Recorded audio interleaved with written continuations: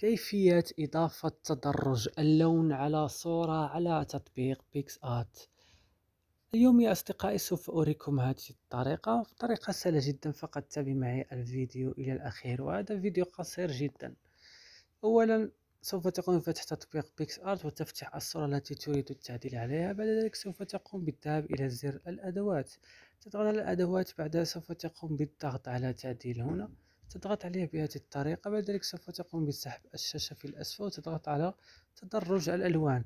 ومن هذا السهم فوق سوف يمكنك التحكم في تدرج الألوان بسحبه إما على اليمين أو سحبه إلى اليسار. كما رأيتم يا أصدقائي هكذا يمكنك عمل تدرج الألوان. وبهذا يا أحبائي لا تنسوا دعمنا بوضع زر لايك لأننا وصلنا لنهاية هذا الفيديو. أرجو أن يكون مفيدا فلا تنسوا دعمنا بوضع زر لايك.